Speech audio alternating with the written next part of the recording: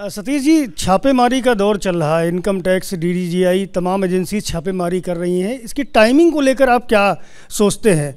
और क्या लगता है ये प्रेशर पॉलिटिक्स है?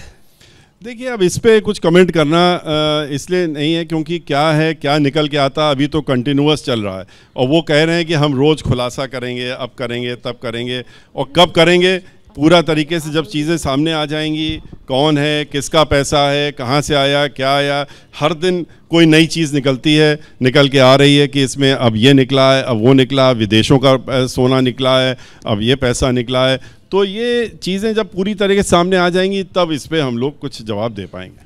सर एक चीज़ एक चीज़ मैं आपसे कहना चाहूँगा। एक आप लोगों ने आपने महिलाओं के बारे में पूछा महिलाओं का ये भी पूछा आपने कि कितनी आप भागी दे रहे हैं।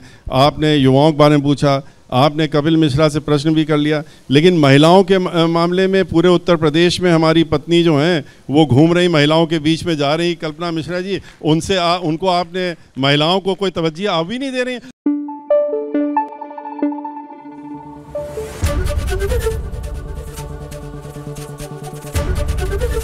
एबीपी न्यूज़ आपको रखे आगे।